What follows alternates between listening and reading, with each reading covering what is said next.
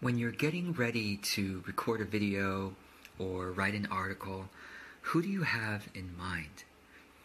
I hope that you don't have anyone critical or negative in mind. I hope you don't even have your audience in mind, especially if, when you're just getting going and you're trying to unblock yourself and trying to create content consistently. Here is the tip I want to share with you. Make your content for just one person at a time. In other words, have in your mind one caring person. Maybe it's a, a kind friend or a supportive colleague, a true fan. Bring that person to mind and to heart before you start to record, before you start to write. Think about that one person and your connection with them. In fact, you might even ask yourself, hmm, I'm, I'm thinking about this one topic. What do you, what question do you have for me? You can ask that person in your mind, in your heart, what question do you have for me about this? What, what might you want to know about this? And then write your article or make your video. If you make your content for one caring person at a time, it tends to be much more natural for you to be authentic, to be conversational, to be less afraid, to be not afraid. So I got this tip from my favorite book on public speaking. One of the um, some a few of you have said over the years, "Oh, George, you seem really good at public speaking. Do you have any resources?" Yes, I have one book for you. And that book is "Be Heard Now" by Lee Glickstein. Be Heard Now. And that book, I'll show you with you one tip which is that when you're speaking to an audience now of course back then he was talking about live audiences.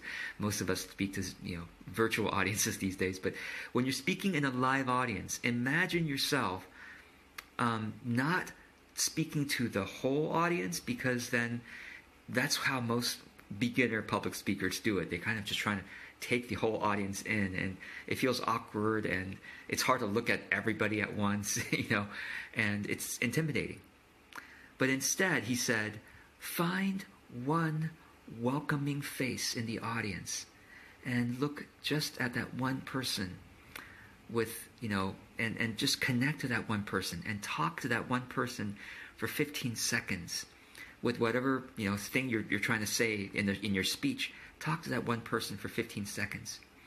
And then find another welcoming person in the audience, welcoming face, and talk to that other welcoming face for 15 seconds. And then just on and on. And by doing that, there's a magic that happens.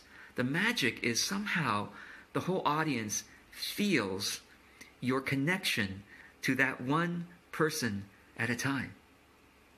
It's amazing because, and it's not a surprise because you know when you are talking with one kind friend, when you're talking with one supportive colleague, you're in relationship, you're natural, you're authentic. You're connected. You are in response. You are caring. You're in, in, in response to their care for you.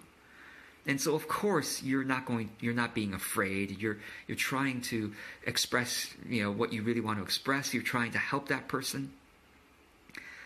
So do that same thing when you're on Zoom or when you're making a video, uh, looking at your camera lens. Do that same thing when you're writing an article. Don't think about your audience, and certainly don't think about any, anyone judgmental. But take a few moments to bring to mind and heart that one caring audience member.